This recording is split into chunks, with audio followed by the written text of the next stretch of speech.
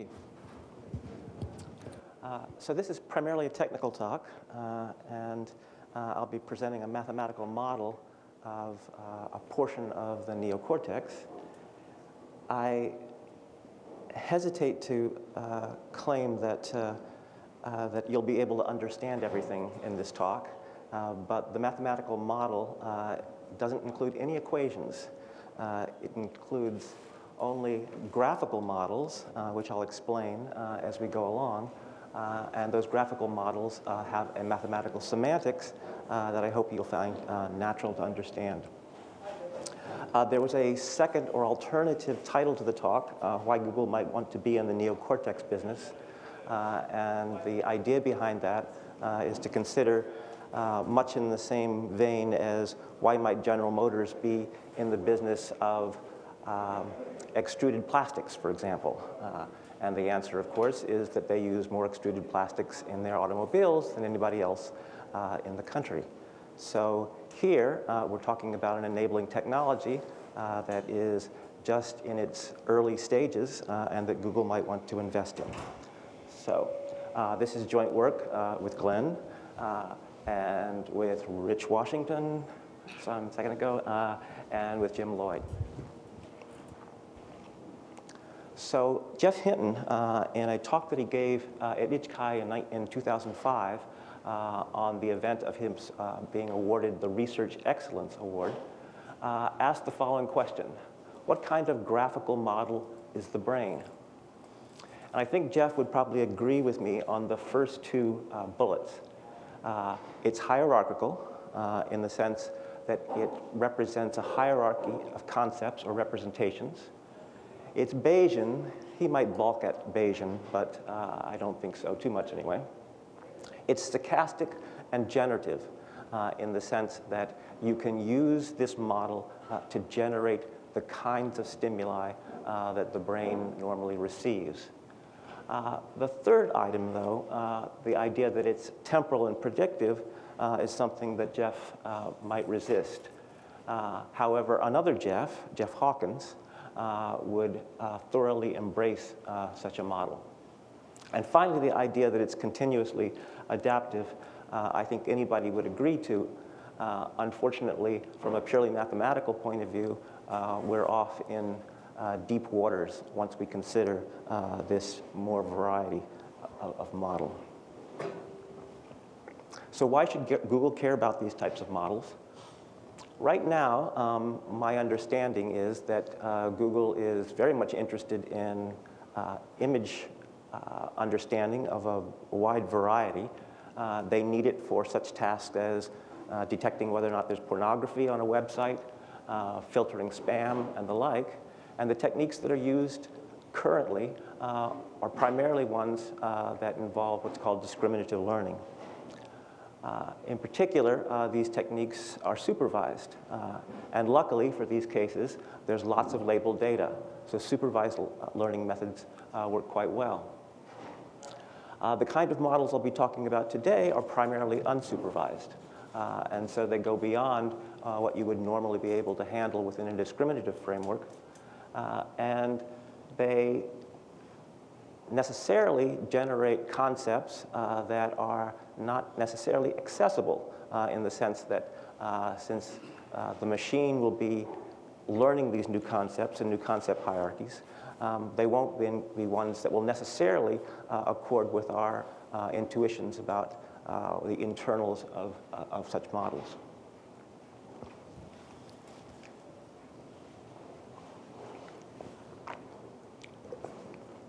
So um, I think that, that people will agree Another pajamas, that's great. Uh, only two in the audience, though. Uh, uh, uh, I, I think that everybody will agree that, that Google is, in some sense, the grand content addressable memory.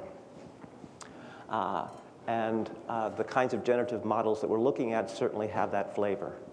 Um, we're also interested in what I call coincidence-driven associations. For example, two things residing on the same web page uh, can, uh, at least if there's uh, more than one occurrence of this, indicate a relationship that you might want to encode. the models that we're looking at are fundamentally sequence-based. Uh, and even though a lot of the models that Google currently uses uh, are based on uh, models that are non-sequence based, sort of bag of words, um, more and more Google is moving uh, to taking advantage of uh, the sequential nature of, of text and video and the like. And finally, uh, the things that Google is most interested in uh, involve multiple modalities.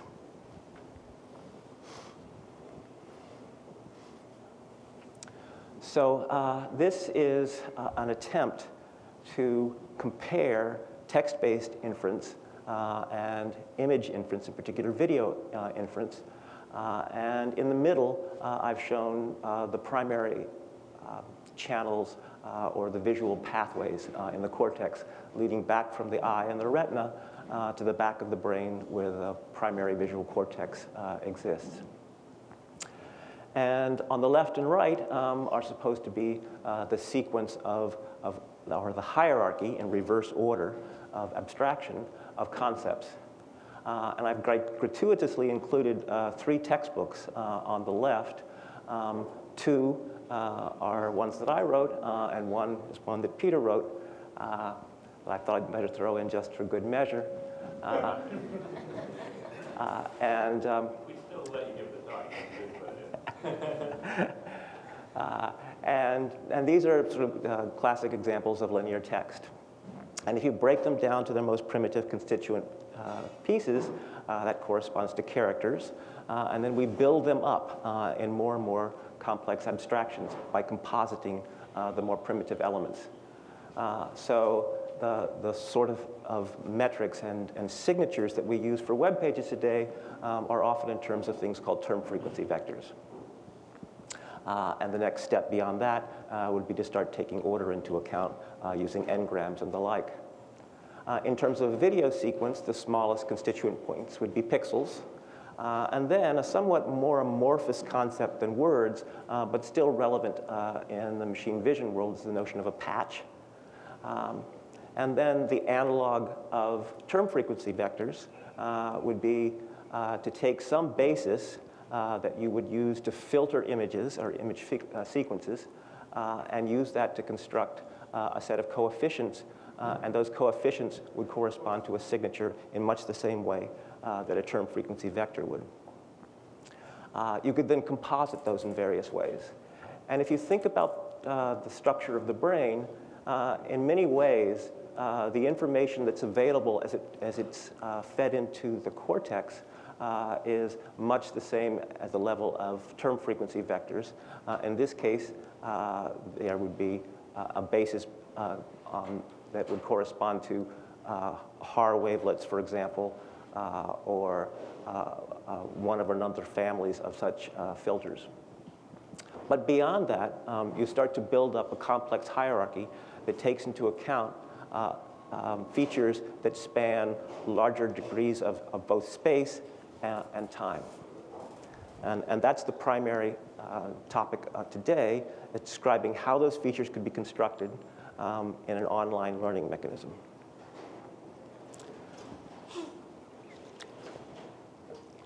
I'll start with some terminology. Um, and essentially, I'm going to take the, the neuroscience ideas and, and reduce them uh, to very simple elements, uh, and then build them back up uh, using the mathematical models uh, that I'll be presenting. So everybody's familiar with the idea of, of the cortex uh, as a sheet um, that uh, is crenellated and stretched over uh, the more primitive aspects of the cortex.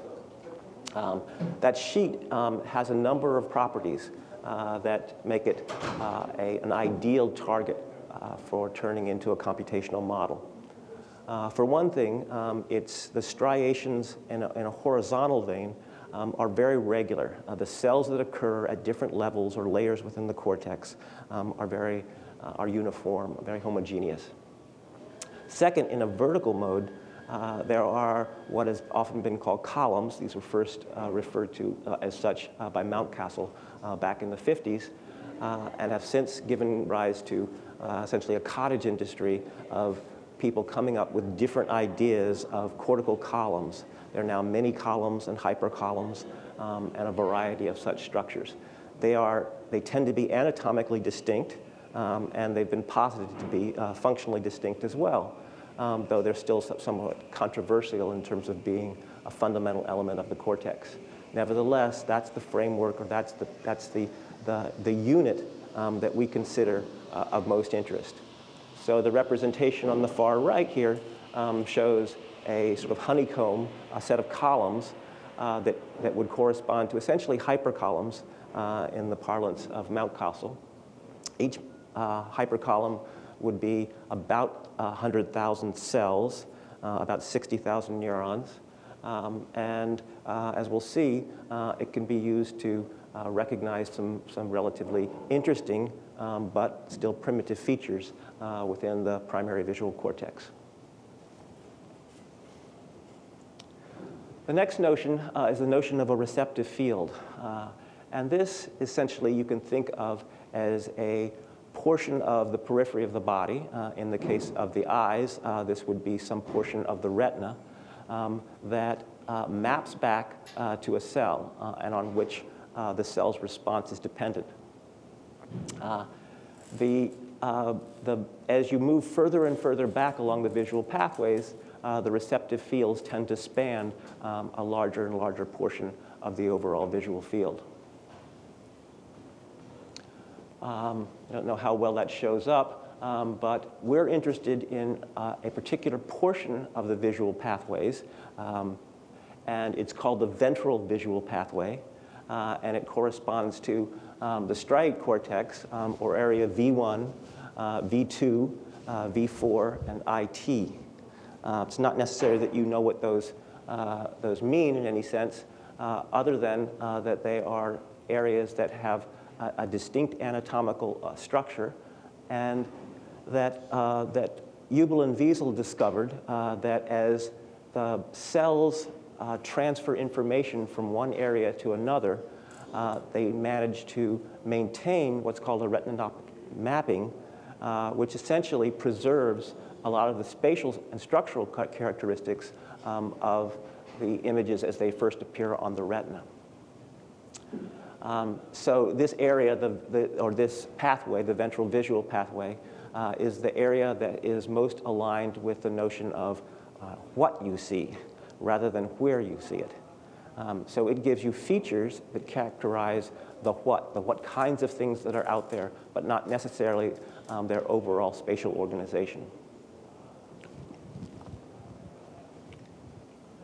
The last concept um, that we'll draw upon in the following is the, is the distinction between simple uh, and complex cells.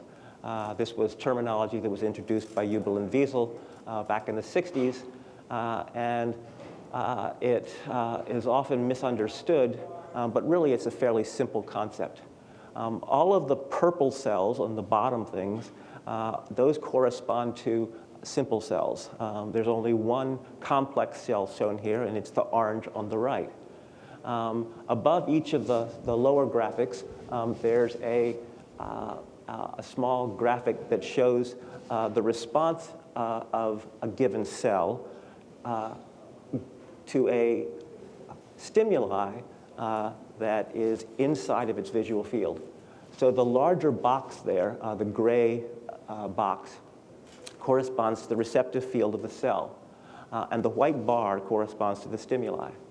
And in this case, uh, for the simple cell, um, the simple cell is going to respond to a bar oriented at a certain uh, orientation uh, and positioned uh, right in the center of the visual field.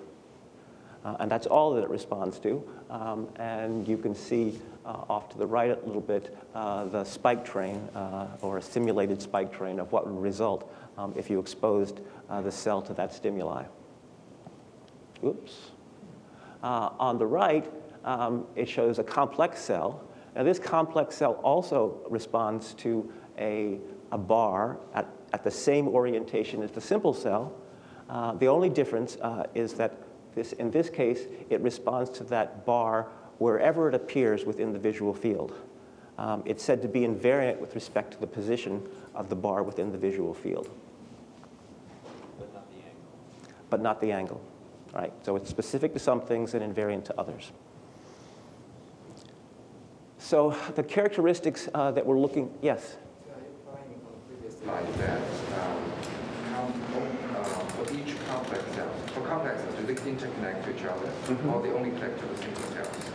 Uh, simple cells connect to simple cells, so you can have a simple cell, all of whose receptive fields, in some sense, correspond to the input or the output of other simple cells. Sure. Uh, and then complex cells uh, take simple cells as input. Complex cells also take other complex cells as input. So uh, we're interested in these models uh, because they provide uh, a hierarchical model, hierarchy in terms of a set of abstractions. Um, those abstractions uh, tend to be primarily in the first levels of the visual cortex, um, spatial and temporal abstractions. Um, these things are capable of pattern recognition um, of a sort that we would very much like to see in uh, modern AI systems, and pattern completion in the sense uh, that we hallucinate in some controlled way uh, portions of objects that are occluded by other objects.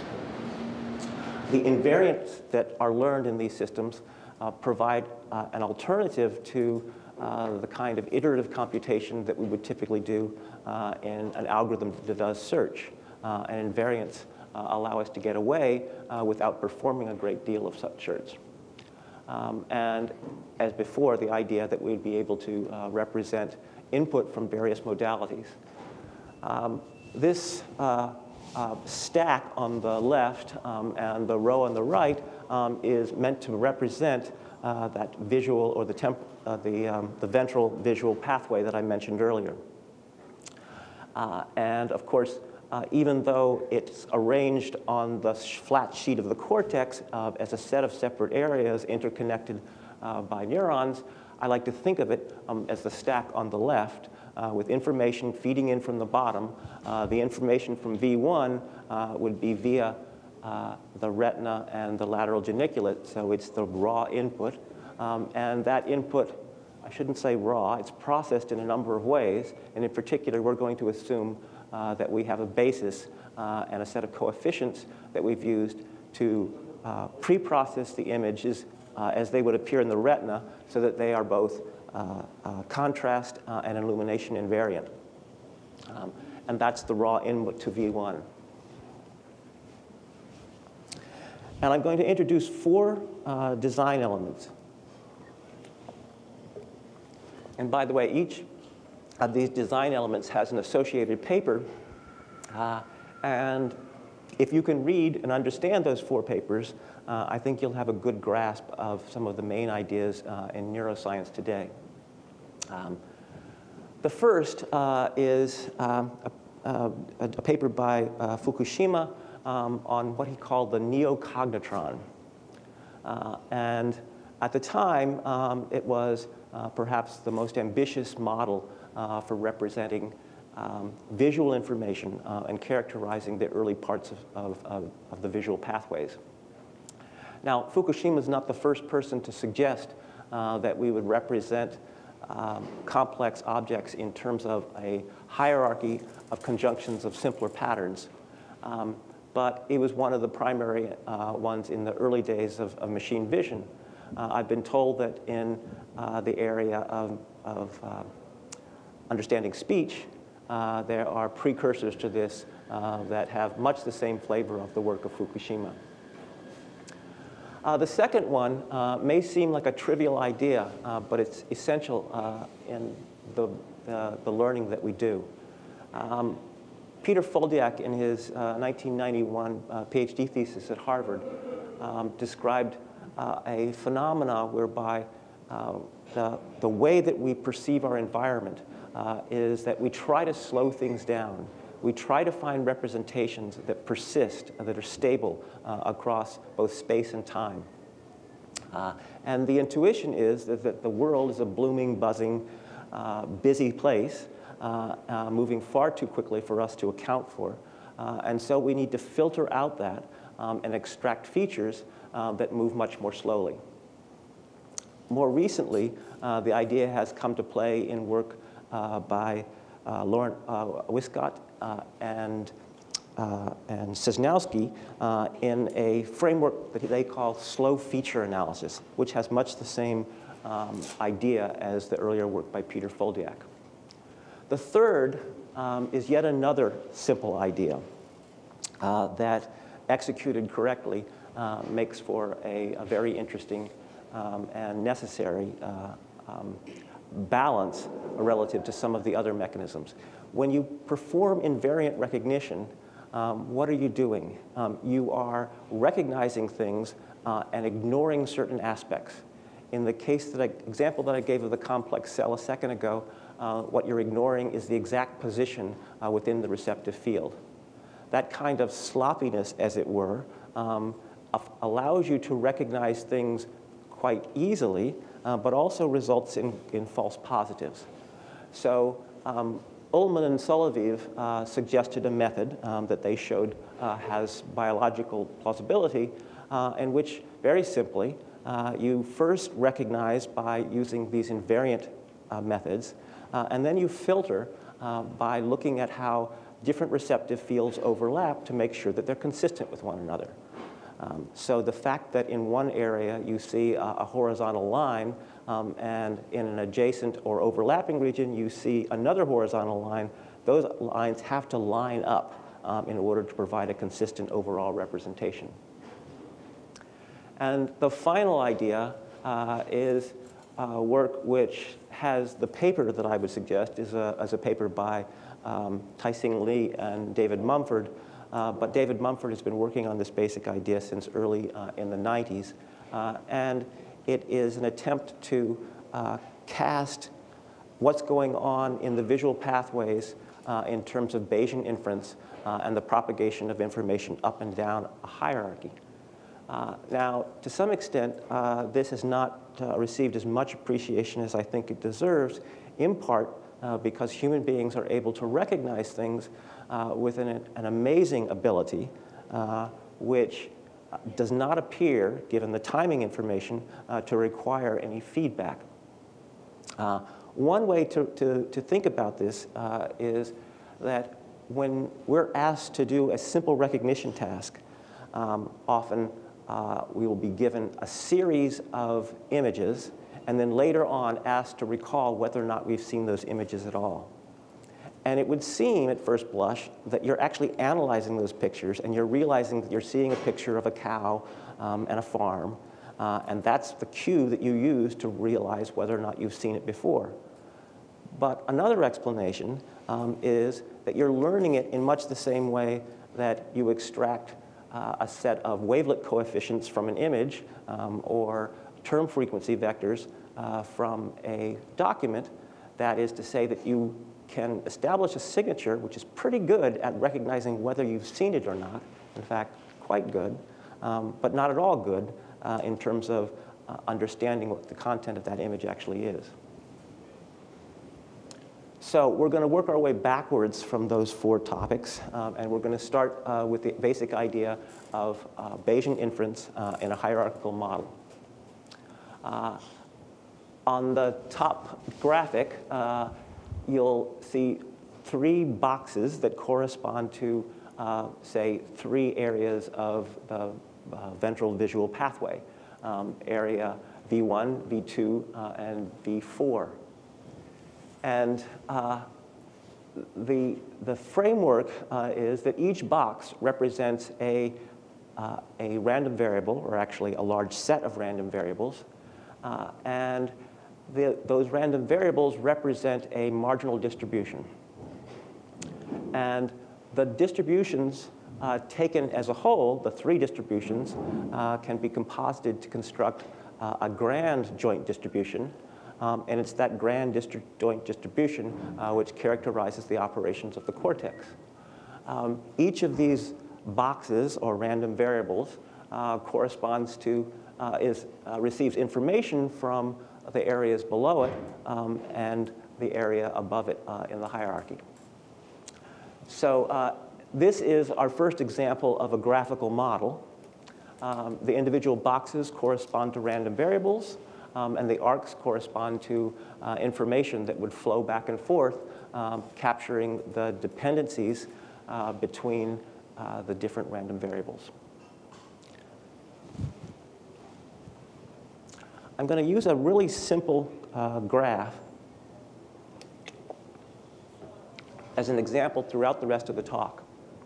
Um, and you'll have to use your imagination uh, to, to think that this, in, this characterizes a cortex. Um, but the simple cartoon uh, will make it much simpler uh, for us to understand uh, the pieces down the road. So there's only nine variables in this graphical model. The arrows point in one direction, uh, but the arrows uh, simply represent a conditional dependence. And you can always use Bayes' rule to reverse those arrows. So even though the arrows point in a single direction, information moves in both directions. Um, there are no arcs between the nodes within a, uh, a level, uh, and that is because initially um, there are no arcs. Uh, we learn those arcs uh, in the process of constructing the hierarchical model. Uh, use your imagination um, so that the, uh, the, the, the, z variables, the, think of those as the, the variables corresponding to hypercolumns uh, in area V1. Uh, there won't be just five of them. Uh, there'll be something more on the likely of, more on the, on the order of 100,000 or so. There are on the order of 10 to the 11th cells uh, or neurons uh, in the neocortex uh, and 10 to the 14th connections. Um, but as I said, each one of these variables is going to represent a, a hypercolumn which consists of anywhere from 50 to 100,000 cells. Um, so given that um, as our basis uh, for our simple hierarchical models, um, and now remembering that uh, instead of having nine variables, um, it will have 900,000 variables or something on that order. Um, we're going to have to decompose it uh, into smaller components. And those components, um, each component um, is referred to as a subnetwork. Uh, and the different subnetworks are going to overlap. That's a good thing. Uh, and uh, those subnets are going to be sized in such a way uh, that it can be handled, all the inference involved uh, with respect to that subnet uh, can be handled on a single processor or a single core.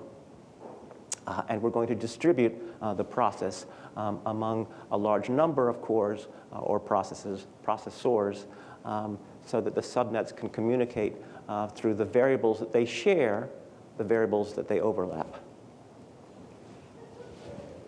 So now given the previous slide where I showed you one subnet, um, imagine that, eh, that the subnets all correspond to a node in one level uh, and all of the nodes that it points to, all its children on the level below. Um, and what we're going to do is we're going to explode that, that graph uh, into a graph of subnets, uh, where again, the subnets communicate um, by using potentials or, or marginal distributions, as it were, uh, that they, they contribute to one another uh, in a message passing architecture. Now, uh, I showed you a, uh, a, hierarchy that was pyramid in shape, uh, but in fact, the models that we'll look at uh, will be anything but that. You can think of them as pretty much squares or truncated pyramids. and the nodes at the different level will have the following behavior, which is drawn from work uh, Braitenberg on Schüz on the structure of the, of the visual cortex in, in cats and monkeys. Um, as you ascend the hierarchy, uh, the in and out degree of subnets uh, or of nodes in the graph doesn't change. Um, however, if you think of the hierarchy, the, the graph the, that we showed of nine nodes or nine million nodes, um, as embedded in the obvious embedding in the three-dimensional space, uh, as you ascend the hierarchy, those, uh, the, the, the receptive field uh, for the subnets spans a larger and larger space. Um, and this means essentially uh, that as you ascend the hierarchy, the width of the graph restricted uh, to a given level becomes less and less, the diameter of the graph. That is the shortest, longest path uh, within that subgraph. So at this point, uh, you should have in your mind uh, a picture of a, a, hierarchy corresponding to the first three levels or so of the visual cortex, uh, looking something like this. It's, a, it's essentially a three-dimensional graph where each subnet um, is described as a pyramid, and uh, the pyramids, the base of the pyramids gets larger and larger uh, as you ascend the hierarchy. But as I mentioned uh, in the second slide, uh, that one of the main things about the graphical models that we're looking at is they're essentially sequence-based. And uh, so we want to think about how we can handle time. So this slide um, is meant to represent uh, essentially uh, three dimensions where the two spatial dimensions um, are uh, uh, compressed into a single line. So every horizontal line of cells uh, corresponds to uh, the entire input uh, at a given time. So it's two dimensionals corresponding to the two dimensions um, of the retinal field. And then time um, recedes into the vanishing point. point, and at any given time, the system, the model, uh, will encompass uh, a certain set of those random variables. So this is a, uh, the grand model, as it were, uh, that, that represents all the space and time uh, that's available to the system to make inferences on. So the task of each level, and essentially each subnet, um, is to take its receptive field, shown here uh, in the little red box, and abstract that um, and given the model that I mentioned before uh, of Wiskott and Sejnowski and Peter Földiák's model, uh, to extract a feature of that uh, that changes slowly over time. Uh, and the blue nodes on the top are meant to represent uh, the nodes in the next higher level uh, and to capture that kind of an abstraction. Is, is there some criteria beyond, and this is a tangent, I know. Beyond that, there, there must be some criterion beyond features that change slowly over time because you, know, you can come up with no constant right. features. Yes. Um, you have to at least avoid um, the obvious. Uh, um, there, must be some sort of informative. We'll see it in just a second.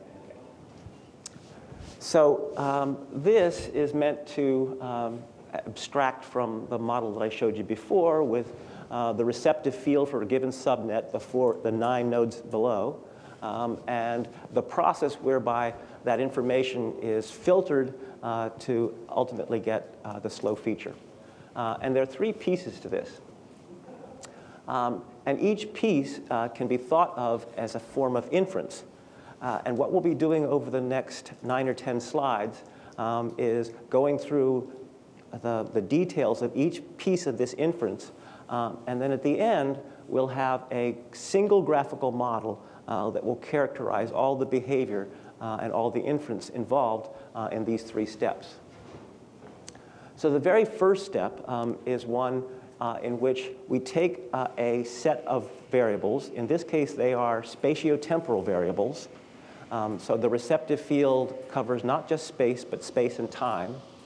Uh, and we learn using unsupervised methods, uh, the distinct patterns uh, of, of spatiotemporal, uh, of, of change within those variables. Uh, we can use a method such as uh, mixtures of Gaussians in order to capture those patterns, or in the case of no, um, normative variables, we can use a method such as naive Bayes or augmented naive Bayes. The next step, um, we take in some sense, they, those patterns uh, or those prototypes um, that we've learned um, from looking at the spatiotemporal receptive field, and we look at their dynamics, how they change over time. And we actually learn a dynamical model that describes that, um, that evolutionary behavior. Uh, in doing so, uh, we learn a transition uh, matrix uh, that describes the evolution of those features. Uh, and we analyze that in the third step in order to, to figure out features that were moved slowly. Essentially, what we do is we look at all those patterns and their change over time, and we group them in such a way um, that they now accord with slowly moving features. Uh, and I like to think about those uh, in, an, in, an, automata framework, uh, which we'll talk about uh, in just a second. So the obvious to anybody who works in speech or uh, or graphical models, the obvious model to use for this uh, is something called a hidden Markov model. Uh, and there are two characteristics of the hidden Markov model that are essential uh, to our interest uh, here. The idea is that you take an input space, usually a relatively high dimensional input space, such as the pixels in a small patch of an image, uh, and you reduce it uh, or map it onto a lower dimensional space. Uh, and so the downward pointing arrows correspond to the observation model uh, or the emission probabilities for a hidden Markov model. Having reduced it to a smaller space, uh, we then analyze the way that those, uh, those lower dimensional variables change over time uh, and so the vertical arrows correspond to the transition probabilities uh, of the hidden Markov model. How would we do that within the framework uh, that I described in the previous slides? Well, uh, let's take our, our, our single subnet um, as we, in our exploded view from a few slides back. Uh, and we're going to construct the, a graphical model from this uh, over a series of steps. So the first step to think about um, is we're going to take uh, the graphical model within the, uh, the subnet and we're going to replicate it uh, in some number of slices. And the number of slices uh, will roughly correspond to what we believe the ability of a hypercolumn to store sort of traces of its past inputs. Uh, and then given those different slices, each of which corresponds to the simple model within the subnet, uh, we link them together with an arc uh, that indicates that those variables, uh, the x sub i's in this case, uh, are dependent temporally upon one another.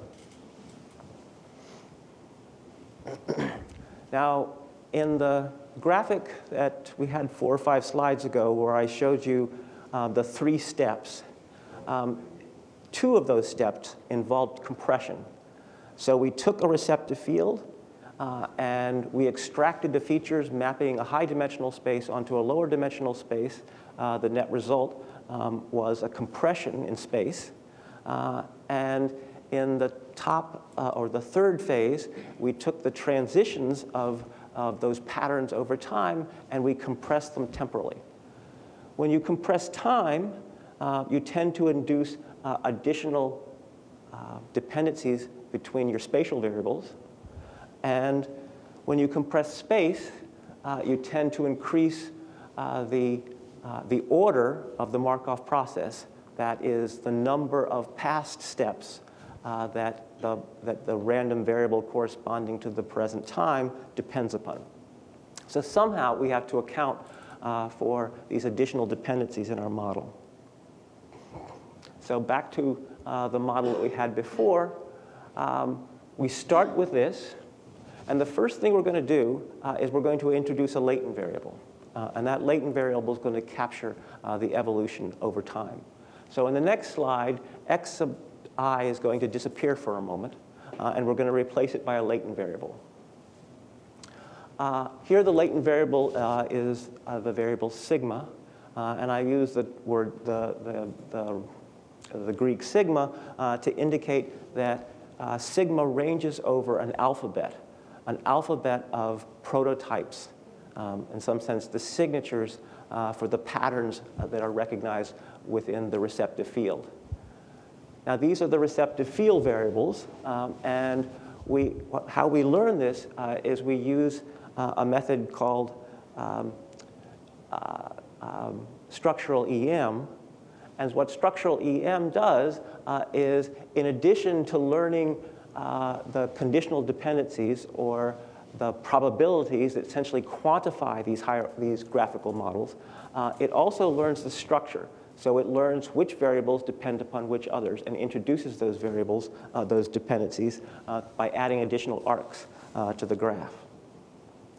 So when we're finished with this, pro this process, um, we have a model which you can think of sort of as the observation or emission model uh, for the underlying uh, temporal model. The next step um, is we're going to learn the dynamics. And, and so now we have the replication of the observation model in every slice, uh, and we have arcs between uh, the, the sigma nodes uh, indicating that those are uh, temporally evolving variables. Uh, the variable at time t, in this case, is potentially dependent upon the variable at t minus delta, t minus 2 delta, t minus 3 delta, et cetera. Uh, and again, we don't know that uh, a priori, we have to learn it. Um, in general, this can be a very bad idea uh, when trying to uh, represent uh, a model uh, in that the size of the distribution that's necessary to describe the transitions or the evolution of this process would explode in terms of the number of, of past stages that it depends on.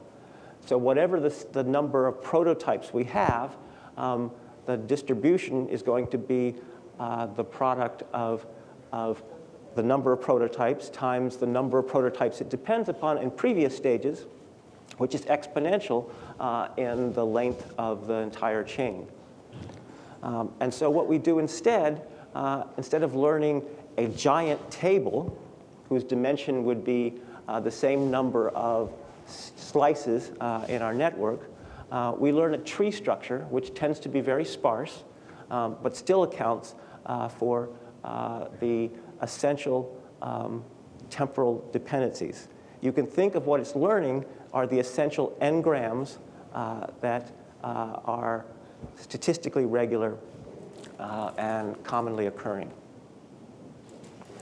All right, so now we have our model, um, our temporal model, and we're going to uh, make the sigmas disappear for a moment. And that's because given a K-Markov model, you can always turn it into a first-order Markov model uh, by simply storing additional state information uh, within the state variable, which in this case is sigma. Um, but what we've done by learning just the n-grams, the essential n-grams, um, we've constructed a very compact space. Um, and so uh, we'll turn that into a first order model um, by having omega, in this case, range not over the prototypes, but over the n-grams that we learned uh, in the previous stage. And now, what we want to do is we want to learn the slow-moving features. We've learned all the dynamics. We've figured out what the commonly occurring patterns. We've seen how they evolve over time. Uh, and so we're going to add back um, our x sub i's uh, which correspond to, in some sense, the output of the subnet. Uh, and what's the role of the x sub i's? Uh, using the, the, terminology that Peter Földiák introduced uh, of the notion of a slow feature, we're trying to extract things that tend to persist over time. Um, and at the same time, that account for the essential features uh, in the inputs. So a brief digression. Um, this is not a graphical model. This looks like a graphical model, uh, or not a graphical model in the strict sense um, as it's used uh, in machine learning today. Uh, this is a state transition diagram.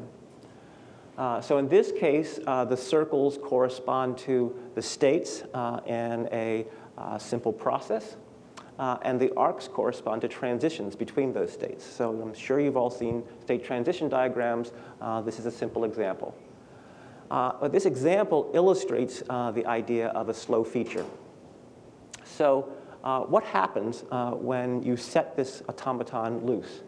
Uh, well, uh, if you started it in state one, you'd see it bounce back and forth between state one and two, most likely, for some portion of time.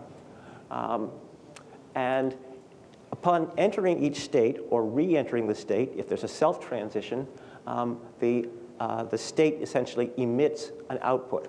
Um, so as it's bopping back and forth between 1 and 2, uh, you would see as output something that looks like A, A, B, B, B, A, A, B, B, A, until finally um, it's going to jump out of uh, those two states to state 4, uh, and then with high probability, uh, it's going to bounce back and forth between 3 and 4 uh, for a time, uh, emitting a different signature, uh, in this case, sequences of A's and C's.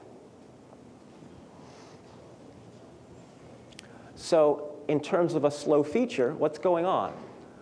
Um, you can abstract away from the nitty-gritty details of the low-level states uh, and say what's really interesting is, is it in a mode where it's emitting A's and C's, or is it a mode where it's emitting A's and B's? Um, and those are the signature states or, or um, meta states uh, of the overall process, uh, and that's what it is that we'd like to learn. Now, what would that actually mean in terms of uh, the kinds of things you would learn in, uh, say, learning visual features? Uh, well, the bouncing back in one and two uh, might correspond to, for example, uh, a very small portion of uh, an image or a pattern moving across your visual field. So imagine that you're watching a box move across your overall visual field each of the individual cells corresponds to a small receptive field, a small window onto that larger image. And so what you might see um, is a small chevron, the corner of a box, um, moving through that little receptive field. And what you want it to learn is that it doesn't matter uh, where that chevron is within your receptive field, you always want to emit the same thing. On the other hand, if you see a chevron moving down, Maybe you want to emit something different. Or if instead of a chevron, you see a straight line um, or an end stopped, um, you want to learn something different. So you learn what those features are.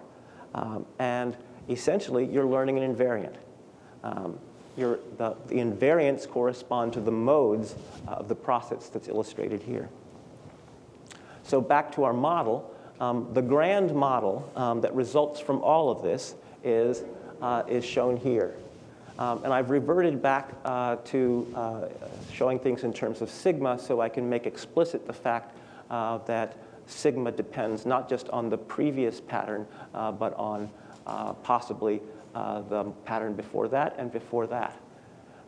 and the model as a whole um, has only one arc that you haven't seen before, and that's the, mark, the arc between um, x of t and x of t minus delta.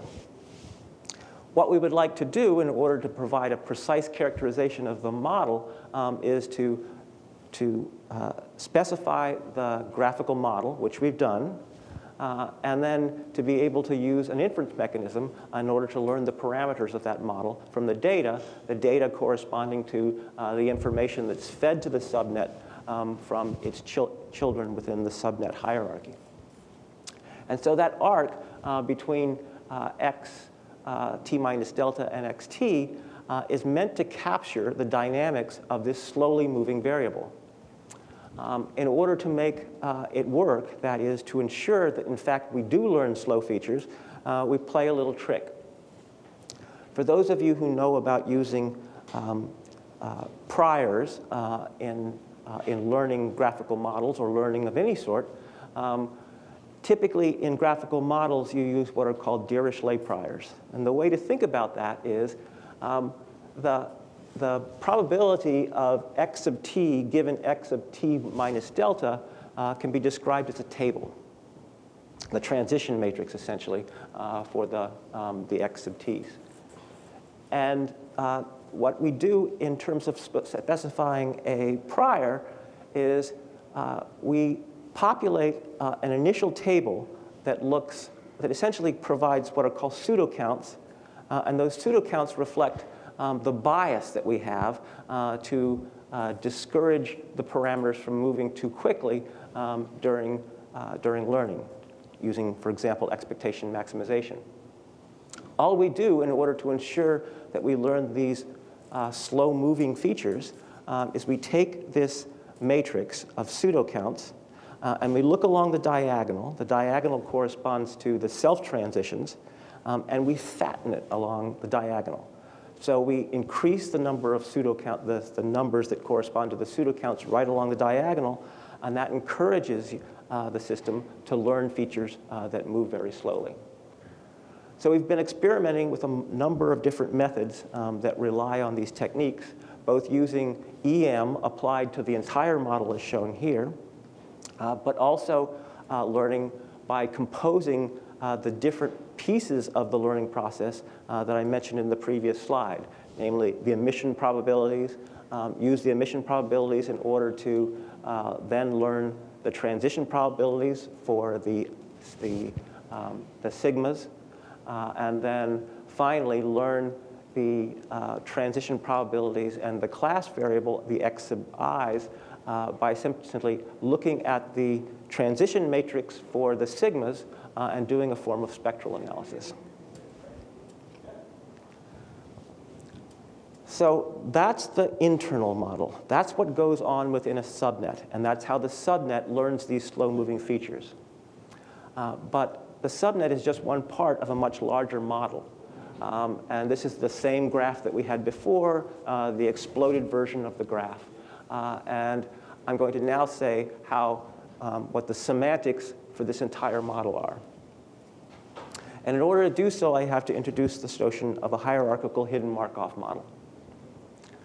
So this is, again, an automaton, uh, except it's an automaton uh, that's factored uh, into uh, components.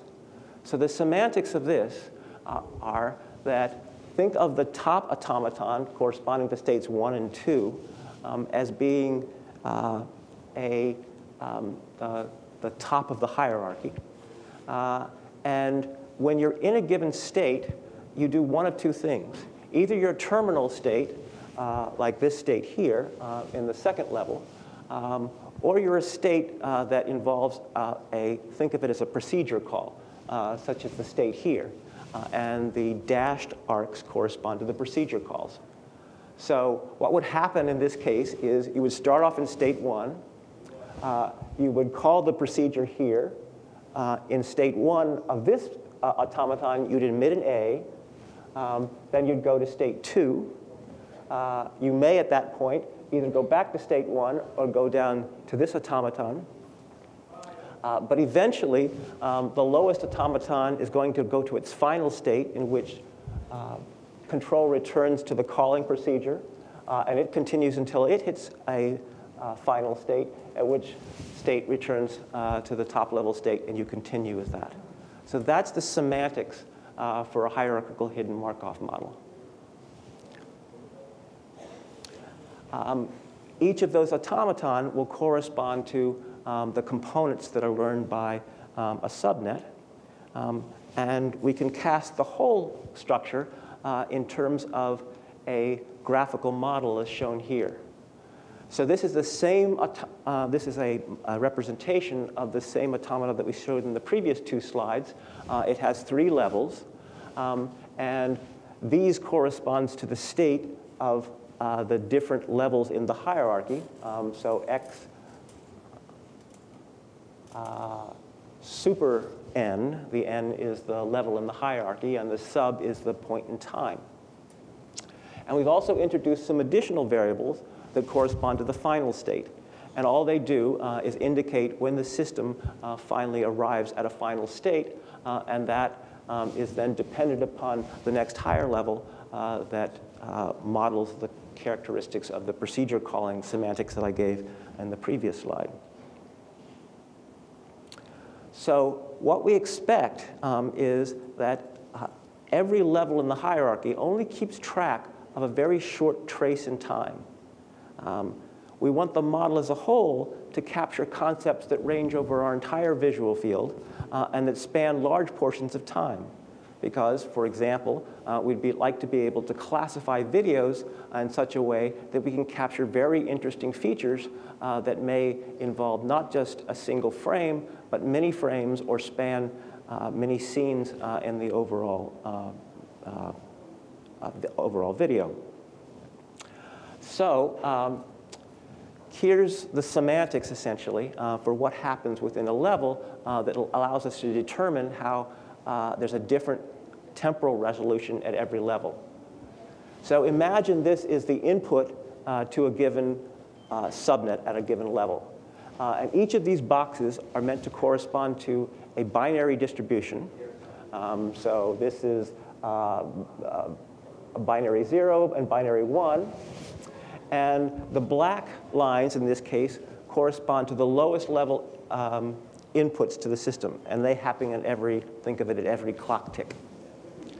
But in a given level, uh, that the system essentially has smoothed out the signal. Um, so it's capturing a feature uh, that corresponds to its sampling uh, at a much lower rate. And so the green indications uh, are the sampling rate uh, for, for this subnet in receiving information from its children. Now, given the, the semantics and the model that we've described for a subnet as a whole, uh, essentially what it's trying to do is extract these slow moving features. And so the output uh, is one that will uh, be sampled even less frequently. Um, and uh, it's, so its spatial characteristics uh, are not essentially as a, as a, um, a, slow, uh, a low-pass filter, but rather that are ca capturing the essential components at a somewhat slower frequency. So there's a potential problem with this.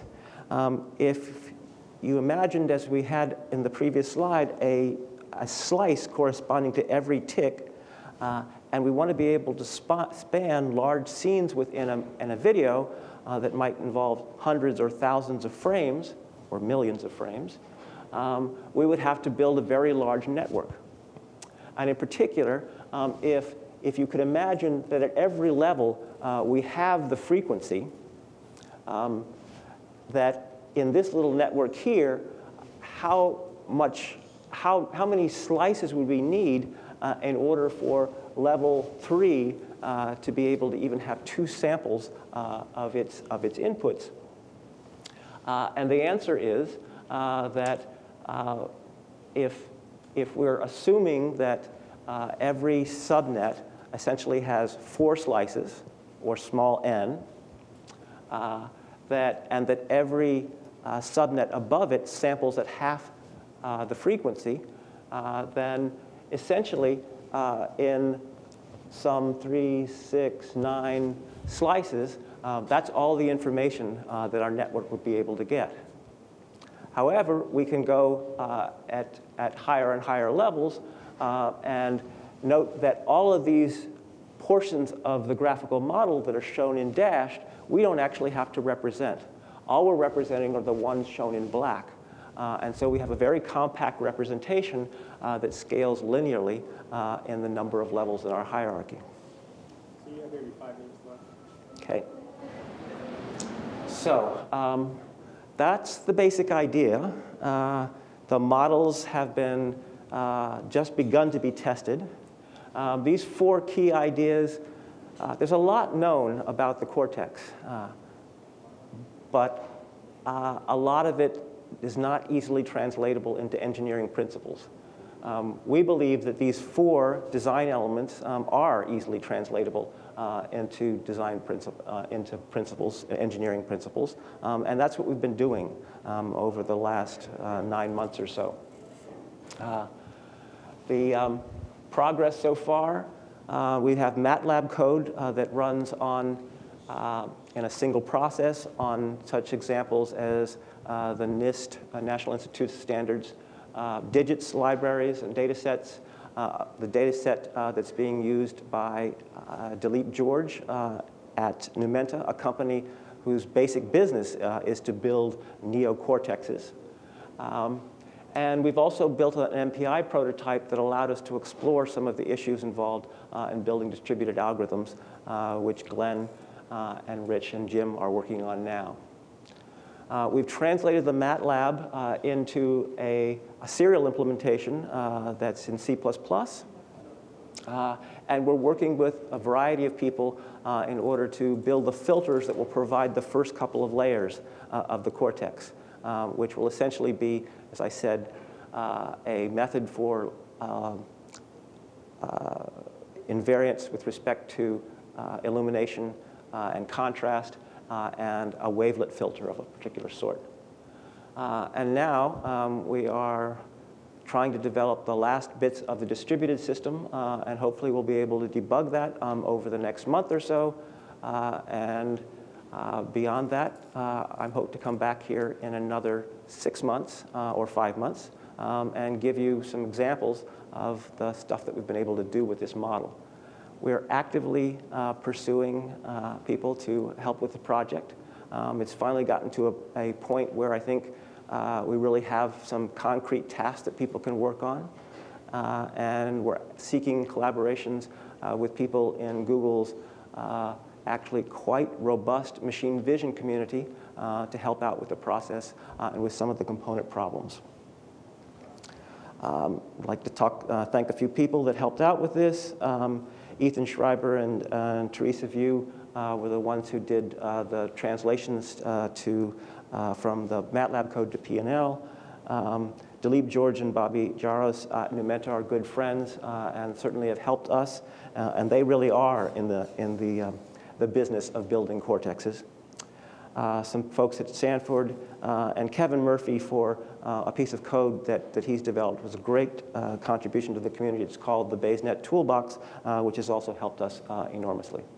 So thank you, um, and if there's any time for questions, I'll be glad to take them.